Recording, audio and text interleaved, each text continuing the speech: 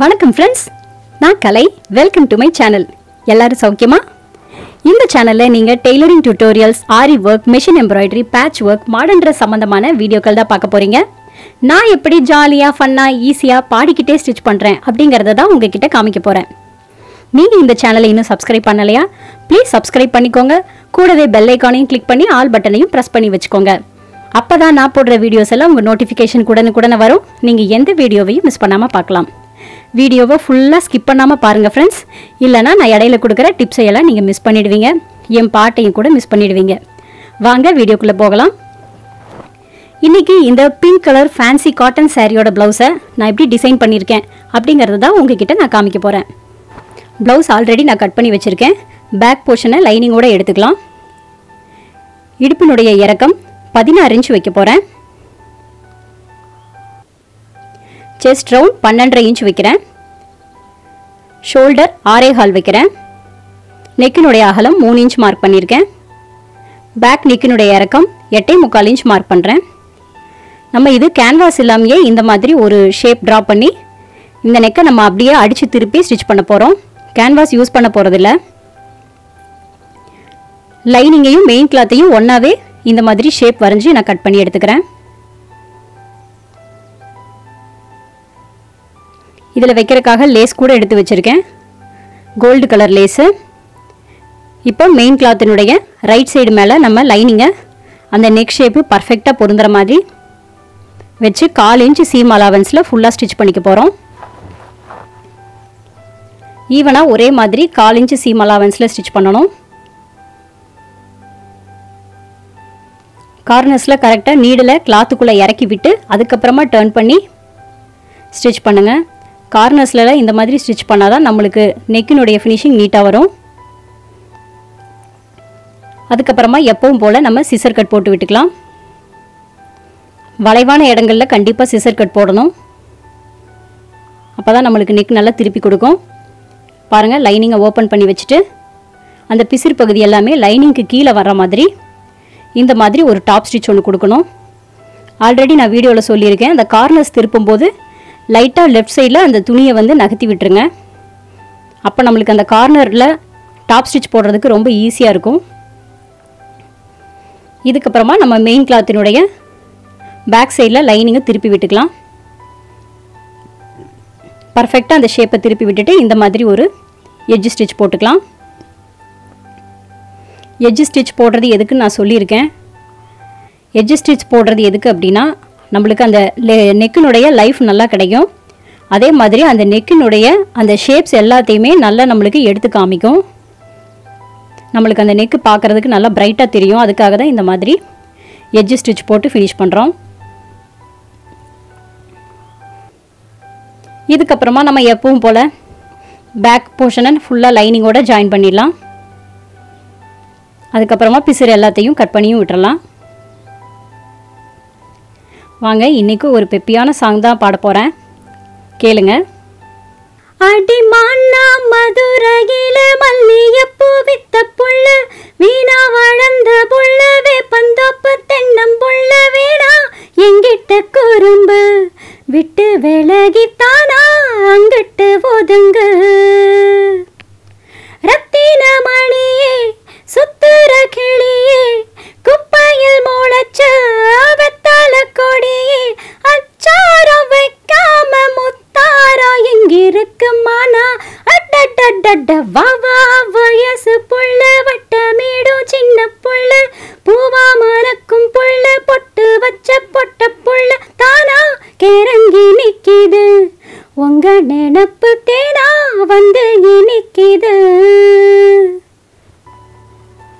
பாருங்கள் நெக் நல்லா நீட்டாக வந்திருக்கு.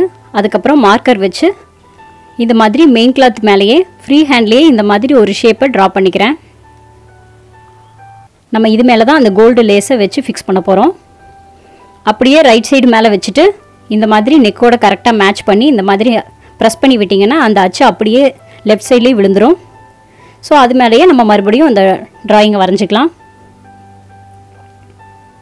நல்லா அச்சா ட்ரா பண்ணியிருந்தீங்கன்னா தான் அது அப்படியே ஒட்டிக்கும். திருப்பி போடும்போது அப்படியே அதில் தெரியும்.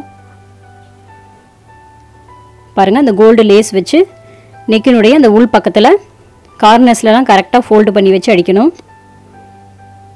நீங்கள் லேஸ் வைக்கும்போது பாருங்கள் வீடியோவில் காமிச்சிருக்கிற மாதிரி அந்த ஃபூட்டை ஒட்டி நம்ம விரலை இந்த மாதிரி பிடிச்சிக்கிட்டோம்னா நம்ம அந்த லேஸ் வந்து நம்ம நெக்குக்கு உள்ளே விலகி போகாமல் நம்மளால் பார்த்துக்க முடியும். ஃப்ரண்ட்டில் லேஸ் வைக்கிறதுக்காக எக்ஸ்ட்ரா விட்டுட்டு கட் பண்ணிடுறேன் லேஸை அதே மாதிரி ஷோல்டருக்கு ஒரு முக்கால் இன்ச் முன்னாடியேவும் முடிச்சுக்கிறேன். இப்போ லேசினுடைய அந்த இன்னொரு ஓரத்தில் ஸ்டிச் பண்ணிக்கலாம்.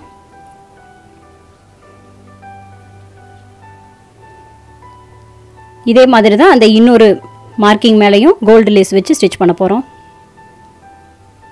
கொஞ்சம் பொறுமையாக கரெக்டாக அந்த மார்க்கிங் மேலேயே வச்சு லேசினுடைய ஒரு ஓரத்தில் ஃபுல்லாக ஸ்டிச் பண்ணி முடிங்க. அந்த ஷேப்பில் டேர்ன் பண்ணும்போது கரெக்டாக ஃபோல்டு பண்ணி வைங்க. மேலே லேஸ் தூக்குன மாதிரி வந்ததுன்னா அந்த இடத்துல நல்லா டான் பண்ணி விட்டுக்கோங்க. இந்த மாதிரி நம்ம எந்த ஷேப் வேணாலும் ட்ரா பண்ணி அது மேலே இந்த மாதிரி கோல்டு லேஸ் வச்சு ஒர்க் பண்ணலாம். இதில் பார்த்தீங்கன்னா அந்த சாரியோடைய கலருக்கு தகுந்த மாதிரி கான்ட்ராஸ்ட்டாக ப்ளவுஸ் கொடுக்கல. அதனால தான் நான் இந்த மாதிரி ஒரு டிசைனை சூஸ் பண்ணேன்.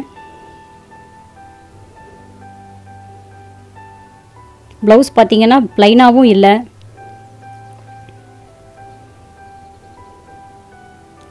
ஸோ இந்த மாதிரி சாரீஸில் வர்ற இந்த மாதிரி ப்ளவுஸ்க்கெல்லாம் நம்ம இந்த மாதிரி லேஸ் வச்சு நம்ம ஒர்க் பண்ணிக்கலாம்.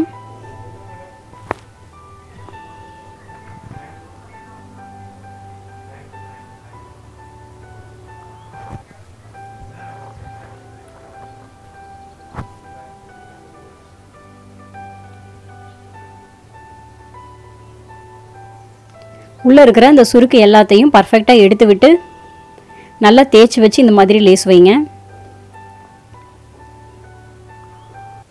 நான் நெக்கில் உள்பகுதியில் வச்சுருக்க லேஸை மட்டும்தான் ஃப்ரண்ட் சைடில் வைக்க போகிறேன் ஸோ அதனால் இதை நான் கட் பண்ணி விட்டுட்டேன். இப்போ லேஸினுடைய அந்த இன்னொரு ஓரத்தையும் நம்ம பர்ஃபெக்டாக ஸ்டிச் பண்ணிக்கலாம். மறக்காமல் அந்த லேஸுக்கு தகுந்த மாதிரி நூல் போடுறதும் முக்கியம். அப்போ தான் நம்மளுக்கு ஃபினிஷிங் நல்லாயிருக்கும். ஸோ நான் இப்போது கோல்டு கலர் நூல் போட்டு தான் ஸ்டிச் பண்ணிகிட்ருக்கேன்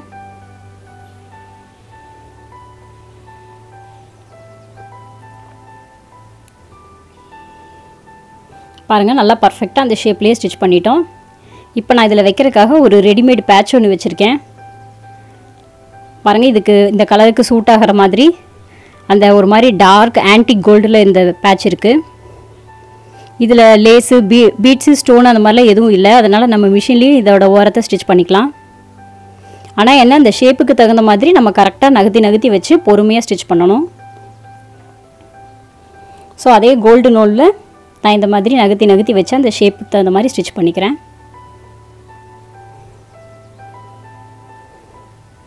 ரொம்ப சிம்பிளாக வைக்கிற மாதிரியான நெக்கு தான். ஆனால் ரொம்ப நல்லா நீட்டாக இருக்குது இந்த மாதிரி ப்ளவுஸுக்கு தகுந்த மாதிரி நெக் டிசைனாகவும் இருக்குது பாருங்கள் நல்லா நீட்டாக வந்துருச்சு. அவ்வளோதான் ஃப்ரெண்ட்ஸ் இந்த வீடியோ உங்களுக்கு பிடிச்சிருந்ததுன்னா ப்ளீஸ் லைக் பண்ணுங்கள் ஷேர் பண்ணுங்கள் கமெண்ட் பண்ணுங்கள் பாட்டோடு சேர்ந்து என் சேனலை பார்த்து ரசிக்கணுன்னா ப்ளீஸ் சப்ஸ்கிரைப் பண்ணிக்கோங்க. கூடவே பெல் ஐக்கானையும் கிளிக் பண்ணி ஆல் பட்டனையும் ப்ரெஸ் பண்ணி வச்சுக்கோங்க. அப்போ தான் நான் போடுற வீடியோஸ் எல்லாம் உங்கள் நோட்டிஃபிகேஷனுக்கு உடனுக்குடனே வரும். நீங்கள் எந்த வீடியோவையும் மிஸ் பண்ணாமல் பார்க்கலாம். தேங்க்ஸ் ஃபார் வாட்சிங் ஃப்ரெண்ட்ஸ் பாய்